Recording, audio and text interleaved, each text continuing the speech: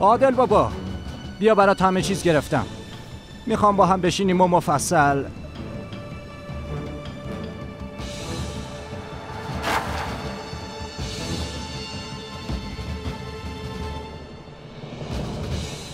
اگیت ببین پسرم. نه عادل بابا این کار درست نبود.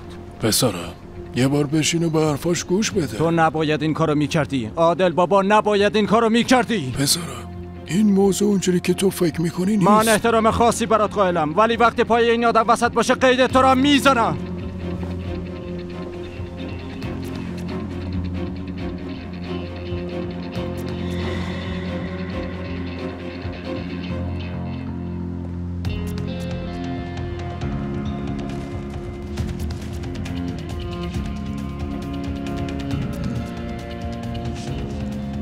کار مشکلیه. خیلی سخته